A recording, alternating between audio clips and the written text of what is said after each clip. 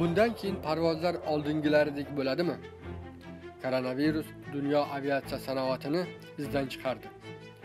Gavjum aeroport videosini ko'rib, bu boshqa zamonlar bo'lsa kerak deb o'ylaysiz.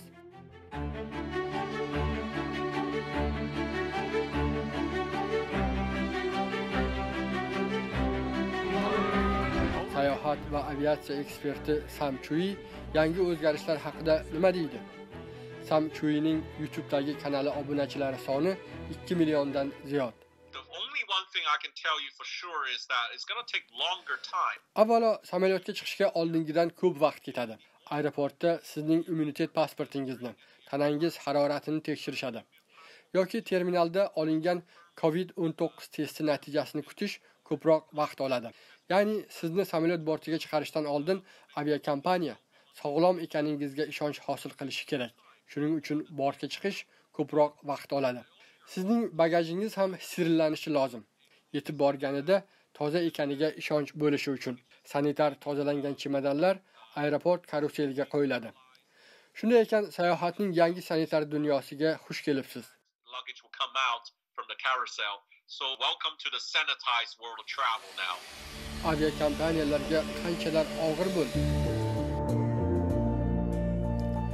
Raqamlar aviatsiya uchun juda tushkun.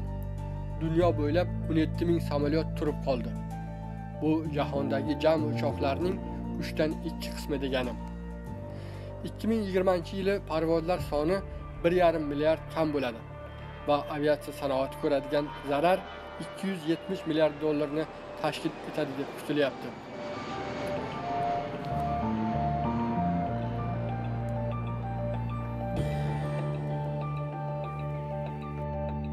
Uchoqda masofa saqlash qiyin. Ko'p shirkatlar talab kamligi bois o'rta o'rindiqni yopmoqda. Odamlarni xotirjam qilish va ishonchni qo'lga kiritish uchun. Obviously, right now, the key thing for an airline to do is to boost the confidence and trust of general public to return to travel first. Avia shirkatlar boshqa yangi tartiblarni ham joriy etyapti. Misol uchun, Turkiya havo yo'llari yuz niqobi va shaffof yuz qalqonini hamma uchun majburiy qildi.